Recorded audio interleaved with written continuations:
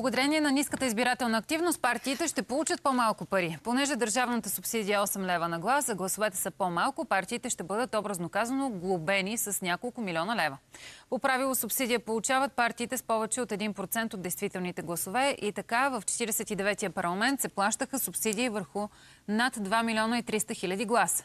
В 50-я парламент обаче вече говорим за под 2 милиона. Така да накоплаците ще спестим над 3 милиона лева, понеже субсидията за партиите пада от 18 на 15 милиона лева. По партии, субсидията на ГЕРБ ще бъде над 4 милиона лева, но с над 1 милион по-малко, отколкото след предишните предходните избори. Най-големият губещ се продължава промяната Демократична България. Субсидията им е с 2,5 милиона надолу. Възраждане ще разполагат с половин милион по-малко. С 600 хиляди лева намаляват парите и за БСП. Две партии ще получават повече. Това са Движението за права и свободи, които ще разполагат с почти 3 милиона годишно, 150 хиляди повече. Плюсът за има такъв народ пък ще е почти 200 хиляди или общо ще имат 1 милион лева. Величие влизат в парламента и получават 800 хиляди лева субсидия, а извън парламента, но с субсидия от над половин милион, ще е партията на Радостин Василев Меч. Те са единствените, които остават под чертата, но пък ще разполагат с субсидия. ВМРО се разминават с държавните пари само за една десета от процента. Така изглежда картината, уважаеми зрители, по отношение на партийните субсидии след вота на 9 юни. Темата коментираме заедно с математика професор Михаил Константинов, когато включваме на пряката ни линия. Здравейте, професоре!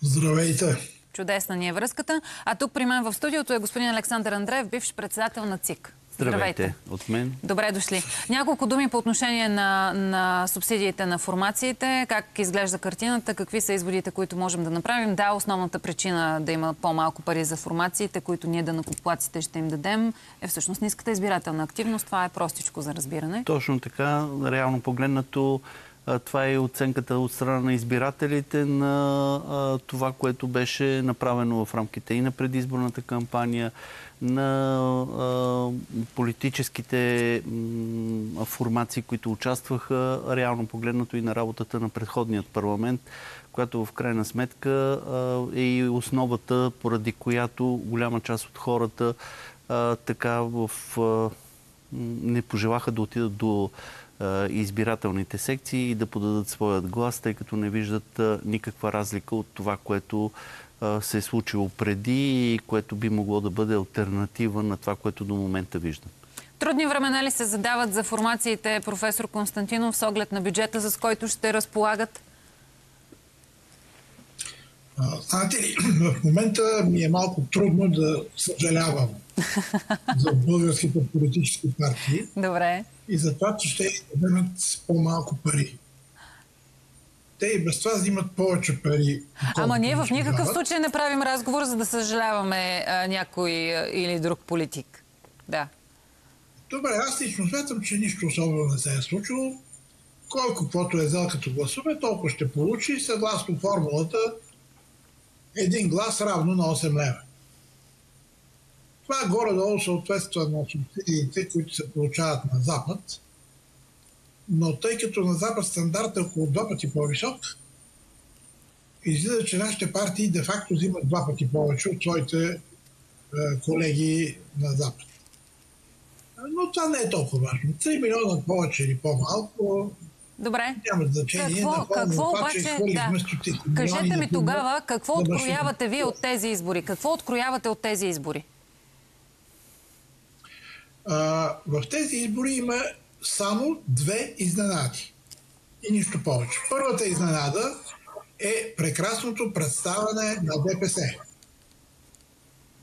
Те имат 11 депутата повече в сравнение с миналия парламент – и най-високия си резултат като депутати в цялата си история.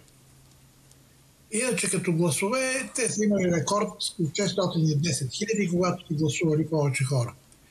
Втората изненада, поне за мен, беше партията Величие.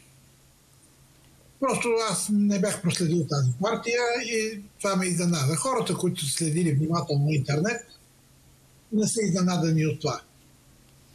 Така, ниската избирателна активност е всеобщо явление европейско. Даже този път не успяхме да сме първи по ниска избирателна активност, защото харватите ни пиха. Само да ви Тоест, попитам тук, да, да ви попитам професора, понеже го чух по време на а, студията, които имахме тук в телевизията на, в изборната нощ и имаше един гост при, Вира, при Мира и Виктор беше той, Евгений Кънев, ако не се лъжа го каза, а, че всъщност това е най-низката избирателна активност на България от началото на прехода. Потвърждавате ли е, тази теза? Аз лично не съм проверявала, признавам си, но вие сте човек, който следите числата. Значи, това е най-низката. Това е най... Това е най-низката избирателна активност на парламентарни избори от порядъка на 34 на 100. Или в, измерено в числа 2 милиона и 200 хиляди да. избиратели. Що се касае обаче до европейските избори, там е стандарт да се гласува около и малко под 2 милиона души. Така че на европейските избори преди два дни гласуваха повече хора, отколкото обикновено, но на парламентарните гласуваха по-низко, с около 400 хиляди и по-малко от последния път. Добре. Но не е нещо, което Разбрах, да. страшно станало. Разбрах. Просто хората наистина имат мъзно тия глупости. Общо взето естествен развой на събитията като резултат. Господин Андреев, съгласен ли сте с това, което каза професор Константинов по отношение на неговия прочит на изборите? Той открои изненадата ДПС с увеличаването на резултата си, партия Величие като поява и ниската избирателна активност наистина за парламентарни избори у нас. Да, разбира се, тези а, явления в голяма степен, включително и социолози, политолози, а и хората, които се занимават и следят изборите, не очакваха да има такова, а, такова развитие, включително както и по отношение на партия Величие и разбира се разпределението в ляво и в дясно на, на, на гласите на избирателите. Това, което всички очакваха е, че националните избори ще, увелич... ще вдигнат избирателната активност и по отношение на изборите за членове на Европейския парламент. То се случи точно обратното реално погледнато, наистина в рамките на изборите за Народно събрание, това са най-низката избирателна активност, което пък от своя страна показва и нагласите на избирателите. Отделно от това, разбира се, имаше и доста нали, такива неблагоприятни условия по отношение и на организацията на изборите тъй като видяхме, че има много сгрешени протоколи. Това се появява от факта, че не бяха правилно отразя, отразяването на гласовете от машинното и хартиеното гласуване. Разбира се, липсата на подготовка на секционните избирателни комисии, недостатъчната нали, своевременна промяна в секционните избирателни комисии. Видяхме, че в последният момент имаше и сериозна промяна в съставите на членовете на секционните избирателни комисии. И едно явление, което въпреки всичко трябва да го кажем е, че машинното гласуване в този си вид явно не функционира така както трябва, тъй като виждаме, че машините не отпечатват бюлетините, въпреки всичко се отчитат повече гласове и това създава и грешки в протоколите. Много грешки всичко в протоколите. това, да, включително и дългите часове чакане, за да могат да бъдат предадени протоколите. Всичко това създава една нагласа както от хората, които участват в изборите активно, така и в избирателите, които отиват до избирателните е, секции на нежелание повече да участват в този процес. Професор Константинов, връщам се към вас, защото ви цитирах, между другото, по-рано в един разговор тук с Полина Витанова, която е председател на Общинската избирателна комисия в София. И цитирах едни ваши изказвания в а, гостуване тук в студиото при мен, за това, че хората не могат да смятат. Не ги карайте хората да смятат. Това съм го запомнила от едно ваше гостуване тук при нас. Кажете ми как може да се облегчи този процес, защото и от госпожа Витанова разбрах, че всъщност основата на грешките в тези протоколи е именно събирането на числа. Да, госпожа Витанова ви каза същото. Не ги карайте да смятат. А как да, го, как да се направи? Само пишат това, което са прочели като съдържание на бюлетините. А кой го смята после? Не ги карайте да смятат. Единствено примерно, трябва, като преборят 5 бюлетини за някаква партия, трябва да запишат числото 5. Но по-нататък с нищо не ги карайте да се бият. А, това кой, число. а кой след това Моите трябва да... отделни Някой друг трябва да свърши тази работа?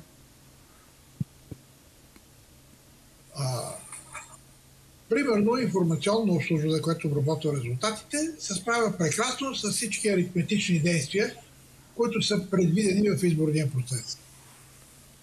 Между другото, както знаете, аз съм бил 20 години член на Централната избирателна комисия Да. и имам чувството, че тук вода един разговор точно като преди 32-3 години. Същите проблеми, същите неща, леко забравени и така нататък. Ние не се учим от собствените си грешки. Има обаче нещо хубаво, според мен, че машините излизат от гаранция окончателно, нещо, което го научихме тия дни, и те като така ще се развалят тотално. И няма да може да съществува това гласуване и ще станем като нормална европейска държава. Да, знам позицията ви крайната Да. против машинното Да. гласуване, обаче има хора, които пък са привърженици на машинното гласуване. И смятат, че това е по-минимизиращ подход и начин на, на гласуване, отколкото хартияната бюлетина, на която членове на СИК могат да дописват, могат и да не дописват, но видяхме такива видеа от предишните избори. Така, знаете ли колко процента, колко процента от избирателите в Европа гласуват машинно? Да, да, това е винаги аргумента, който се дава. Едно върху 100. Ами че то, ако беше хубаво, щяха да са повече, нали така? А какво мислите за сканиращите Ирландците- устройства? Защото сега за това ще започне активно да се говори. Убедена съм в това. Сканиращи устройства на хартияната бюлетина. Крайно време е да престанем да говорим за изборни технологии, а за истинското съдържание на изборите. Не е важното как гласуваме. Важно е за какво гласуваме. Добре. Ние в момента по някакъв най-примитивен начин се занимаваме с технологии, вместо с съдържанието на изборите. Благодаря ви, професора, за това участие. Господин Андреев, с вас да завършим. Безспорно тази тема и, и изблъсъци машинно гласуване или хартия ще си битуваме в нея още дълго време. А какво мислите обаче вие? Така е. а, Въпросът, а, че технологията, когато а, не функционира, трябва да се види какви са грешки. Проблемите. Какви са проблемите? Видяхме, че в този си вид с вадене на разписки, броене на, бюлетини машини, от машините, които не съответстват на това, което се съдържа в паметта, тъй като паметта отчита друго. Всичкото това поставя редица въпроси, които трябва да бъдат решени. Разбира се, че е технология, но технологията е въведена, за да може да реши останалите част от проблемите на на изборите и да позволи на избирателите да отидат да бъдат активни. И в тази връзка винаги повтарям, че трябва да се направи един системен анализ и да се разбере ще функционират ли, няма и какво трябва да се направи, за да може те да функционират и да заменят хартиените бюлетини. В момента това не може да се получи. Видяхме, че в тези избори машините, независимо какъв е техният брой, успяха да не позволят на избирателите да упражнят правото на глас или по няколко пъти го упражних. И това доведе и до съответните, до съответните грешки. И разбира се, трябва сериозно да бъде поработено, тъй като онлайн обучението не дава своят ефект. Това всички го виждаме. Хората трябва да могат да получат онази адекватна подготовка, за да могат да бъдат част от, от секционните избирателни комисии и да си свършат нормално работата. Благодаря ви, господин Андреев, за това гостуване. Ще видим и какъв ще бъде анализа на Централната избирателна комисия и не го чакаме. Освен старта на разговорите за мнозинство в 50-я парламент, чакаме да видим и конкретиката по отношение на грешките при машините, изобщо проблемите с протоколите, всичко останало, което Централната избирателна комисия надявам се да предостави в близко бъдеще на, на обществото. Сега отиваме към новините, уважаеми зрители. 10 часа и 5 минути. е. Прегледаме и слушаме именно тях сега.